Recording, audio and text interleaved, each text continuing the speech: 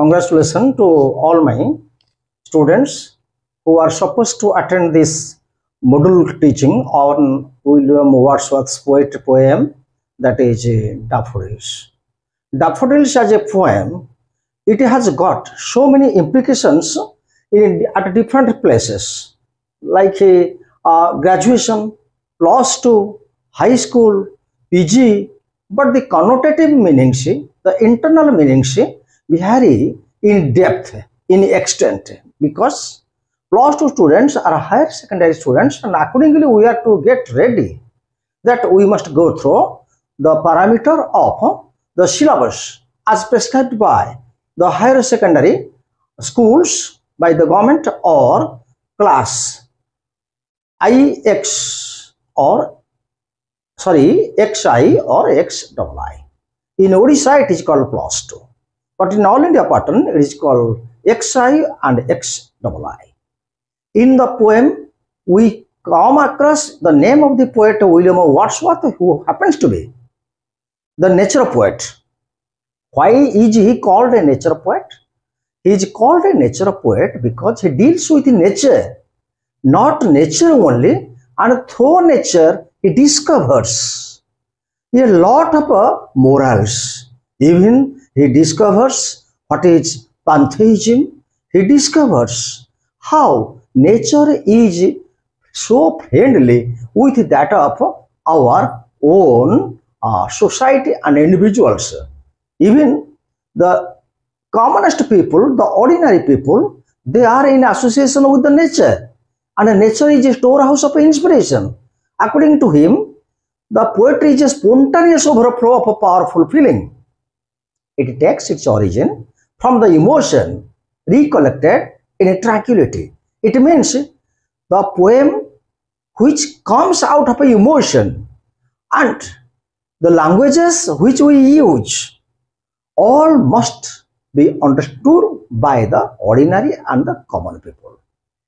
In Odisha, we, say, we, we think and we say it is a sort of a Gana Kavita, the kind of poetry which is understood by one and all, by the emperor, by the kings, and also by the pedestrians or the farmers in the fields.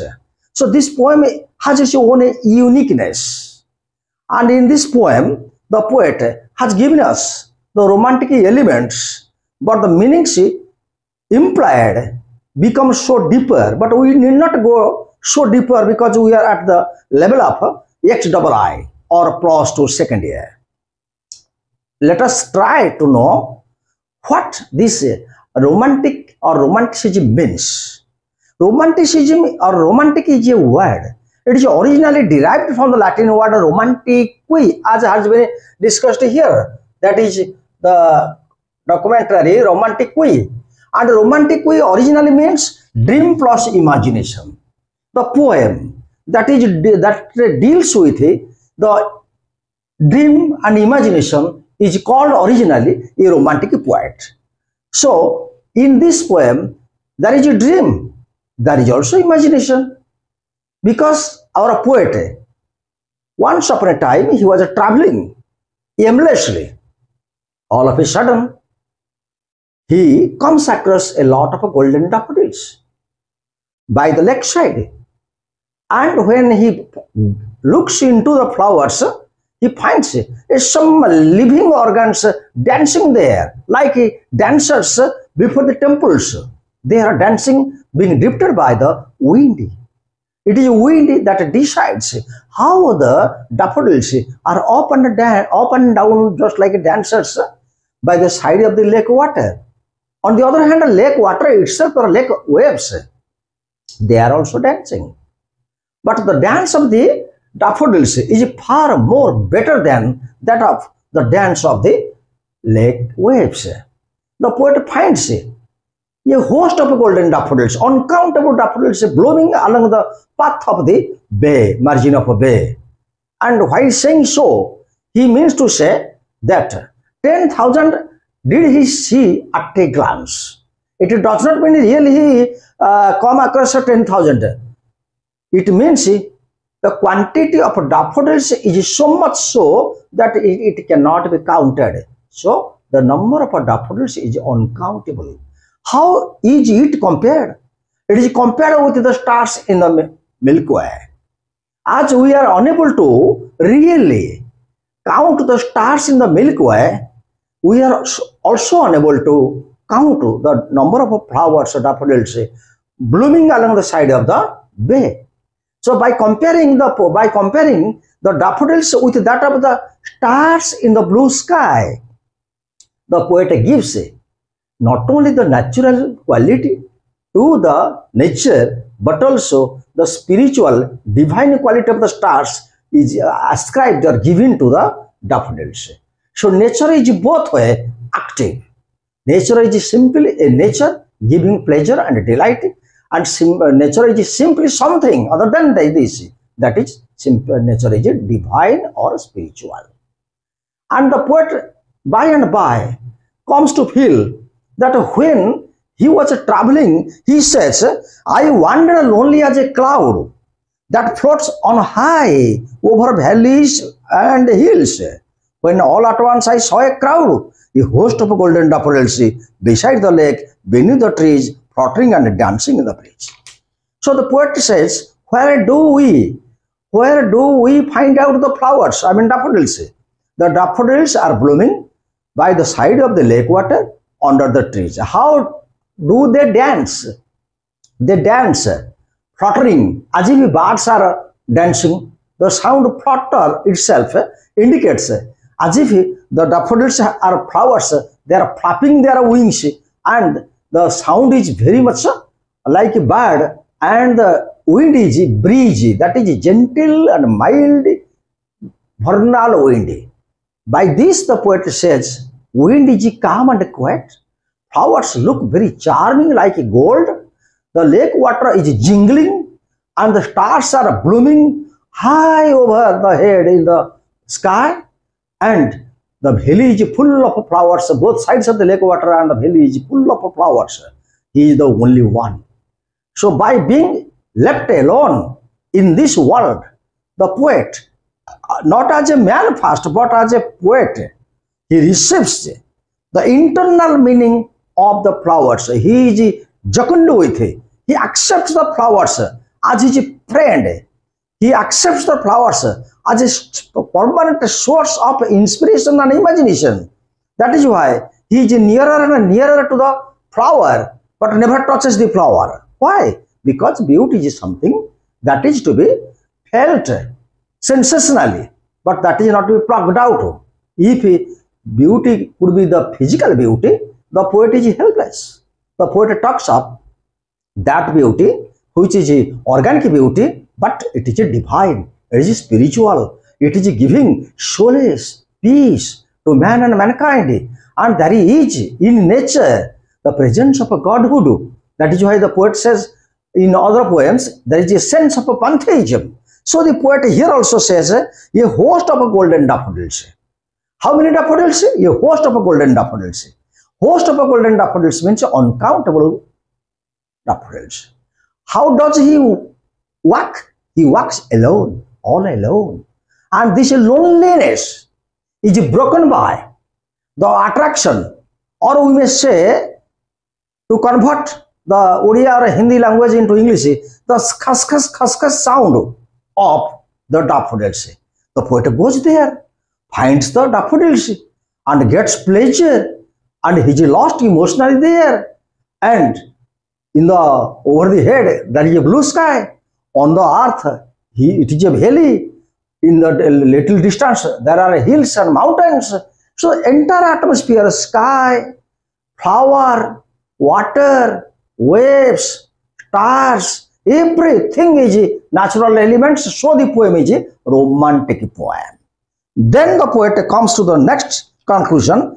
How does, how do the, the, the flowers gather?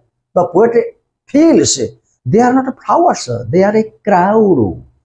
So the human quality has been given to the poem and also divine quality has been given to the poem. That means daffodils. So daffodils is charged with larger human sense and also deepest God or spiritual sense.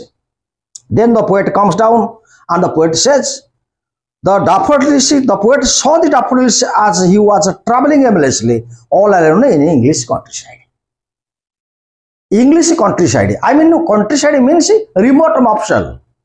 The poem, the poet is fond of nature. So he is not fond of a town or city or mega metropolis. So he has gone there. And all of a sudden, he comes across those flowers. Then the poet is very much happy. Continuous as the stars that shine, they stretched in a never-ending line. Like stars in the Milky Way. They are widespread, galaxy to galaxy. And we can't really go on counting their number. Likewise, here the poet says, continuous. Who are continuous? The daffodils are continuous like the continuous stars, which is shine, which is shine in the sky and twinkle on the Milky Way. The stars are twinkling on the Milky Way. The flowers are, are also twinkling by the lake water, lakeside. So the poet brings a very living contrast between the two nature, natural elements. They stretched. Who stretched? The flowers or the stars, here stars, they stretch in a never-ending line along the margin of a. So flowers also, as long as they are widespread, so long so the stars are widespread. Along the margin of a bay, the stars are not along the margin of a bay, flowers are along the margin of a bay. But stars are in the Milky Way. So the poet says here that 10,000 saw I at a glance tossing their heads in a sprightly dance. By saying this, the poet does not mean exactly, exactly he comes across 10,000. He means to say more than that. The sense is implied. The sense is introvert, not extrovert. By saying one, it does not mean one. It is something more than one.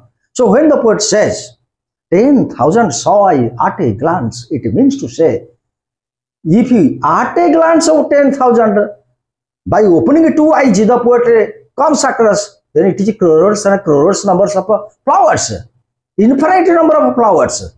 So the poet uh, discusses or speculates and says, the waves beside them danced. The waves, the lake water. The lake water waves by the gentle wind, they also dance. But the dance of the daffodils is surpassing, is outwitting, is completely over, over getting over the dance of uh, the waves.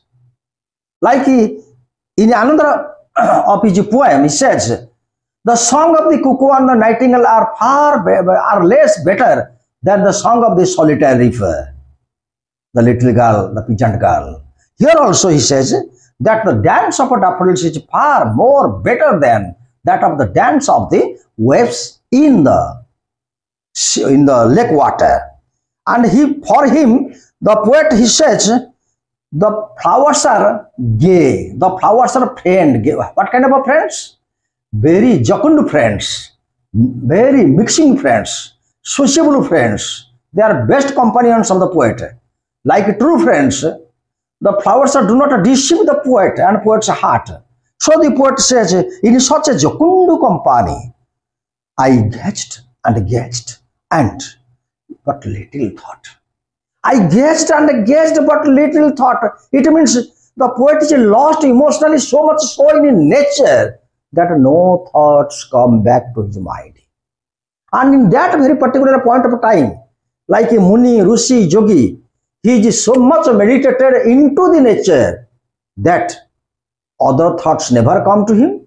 And materialistic wealth, what wealth is so to me? The poet says, what wealth is so to me? That means materialistic wealth has got no meaning, no comparison, nothing equal with that of the emotional attraction of nature. So being a flower, it also belongs to the part of the nature. So the poet he also here absolutely says, I gazed and gazed, but little thought. What wealth this so to me has brought. So during his lifetime, even though he has gorgeous dress to put on and everything luxurious, but he doesn't accept it as a price or a value of society. For him, nature is a tremendous flow of infinite pleasure, a perpetual pleasure, a perennial pleasure, a natural pleasure. Really, it is a natural flow of life. So the poet here, he means to say that the poet poem itself has got nothing but a sort of a reciprocation. So in the first three stanza, number one stanza, number two stanza, number three stanza, the poet discusses how he came alone uh, and there were hills and mountains on the valley. All of a sudden he is attracted by a host of golden daffodils. He saw the daffodils, became happy, became a part of daffodils. He saw the dancing lake water waves. He compared the lake water dance with the dance of the daffodils and the daffodils dance is much better than that of the waves. He compares the flowers with the number of the stars in the on the Milky Way. So he finds out divinity or divine spiritualism. He finds out the human quality in nature because nature does not deceive anybody. Nature is reciprocative by nature and nature is mutual. Nature does not betray anyone in the society so far. Man may betray, man may cut a nature, cut down a nature, cut down a tree, but a tree cannot cut down a man. After these experiences are over, the poet has gone back to his own home. At some days, when he is fed up with it, the worries and anxieties of the society or any kind of a tension is there. So he goes uh, to take rest in the bed, he sleeps. While sleeping, those previous experiences and dances of the flowers come back to him as a flashback. And the poet feels as if he is dancing with the daffodils emotionally. So the poet says, often, often, when on my couch I lie, I in vacant or pensive mood. When I am on my bed, in the sad mood or vacant mood, what happened? Those flowers, they come back, flash open my inner heart, the inner heart of the poet. And the poet feels as if he, it is the bliss of solitude, godly bliss. And his worries and anxieties go out and he becomes very much happy. And there my heart is filled with, with pleasure feels. Inside the heart of the poet, there is pleasure and pleasure and pleasure only and dances with the daffodils. The poet dances with the daffodils in imagination that is in dream. So when the dream is over, what we see? The poet is absolutely, absolutely free from worries and anxieties, tensions of the society and he feels as if he, he is really a dynamic person, highly energized person and he feels quite at home. So the harmony of nature with the harmony of man Man to nature and nature to man relationship has been defined in this poem in a very beautiful manner. And this poem has become a famous poem all over the world that is daffodils. You are the daffodils of my life. It means you are a friend, philosopher and guide of my life. So the poet is here absolutely true to say that nature is a sort of a medicine to the melodious mind of mankind. So if we worship nature, if we love nature, nature will love in return without any precondition, without any commercial tendency and bias. Uh, in the end of the poem, I mean to say, your William Wordsworth, who is happened or who is called the high priest of nature, he is called the high priest of nature because he deals with nature. He has his elder sister, Miss Dorothy. It is said that he has got tremendous inspiration from his eldest sister, Miss Dorothy. It is Dorothy who has inculcated or imbibed in him the zest for nature and nature's love. Anyway, we see that the poet of the period, that is romantic period, they are like William Wordsworth with human beings, their sentiments, their feelings, their thoughts and they never, they are unlikely. The 18th century po- poet uh, like John Dryden or you may say Alexander Pope. In their case, it is pro- prosaic poetry, but in here, the poems languages are simple, free verse writing, no difficult words mentioned, thoughts are very simple, anybody can understand it, provided line by line if we go and discover. Thanking you all. Uh, my dear students, me myself, uh, I, as you know, I am uh, much more uh, experienced person, so over 43 years uh, of teaching. I now encourage you all that if you have any doubts in your mind, any doubts in your mind, any feelings that that that are not that are contradictory, you may kindly give your opinion or complaint in, below this uh, program. Okay, thank you. You must lodge your complaint or you must give your suggestion or you must uh, send questions to be clarified in the next class. Thank you.